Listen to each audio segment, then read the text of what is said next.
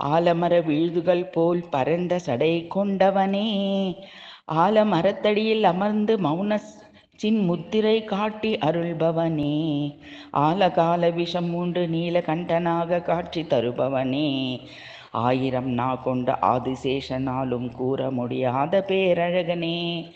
ஆறு கெடிலம் கரை திருவதிகை வீரட்டம் கோவில் கொண்டவனே ஆனையின் பச்சை தோலை உரித்து போர்த்தி கொண்டவனே ஆடும் மயில் ஏறி வரும் சண்முகனை பிள்ளையாக பெற்றவனே ஆரூர் தலம் உரையும் பிறைமதி அணிந்த பெம்மானே.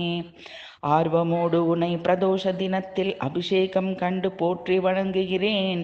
ஆறுதல் தந்து என் மனவேதனைகள் அமைதிப்படுத்துவாய் நந்தி வாகனனே.